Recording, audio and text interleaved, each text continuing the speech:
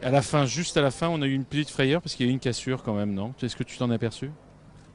Euh, oui, bah, ça se relevait de partout, donc après, je sais pas trop s'il y a vraiment eu des cassures ou quoi, parce que tout le monde essayait de les boucher, donc euh, on verra ce que ça va donner. Mais on n'était pas très loin, donc je pense que ça devrait aller, à part peut-être pour les, les 10 premiers sprinters qui peut-être sont dans la première cassure, je sais pas, on verra.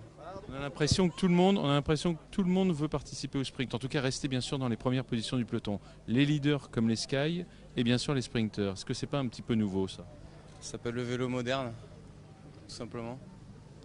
Et C'est une bonne chose ou pas forcément une bonne chose? Bah en fait euh, c'est une bonne chose si tu arrives devant et une mauvaise si tu arrives derrière. Après euh, c'est un peu l'objectif de tout le monde. Tout le monde a le même objectif, c'est de rester sur le vélo, de pas tomber et pas prendre de cassure, mais tout le monde espère secrètement que on va essayer de piéger un autre leader, donc euh, ça donne ce que ça donne. C'est comme ça, c'est le sport. Mais ça peut être effectivement très assez dangereux. Effectivement. C'est plus dangereux que si les sprinters on leur laissait faire leur sprint.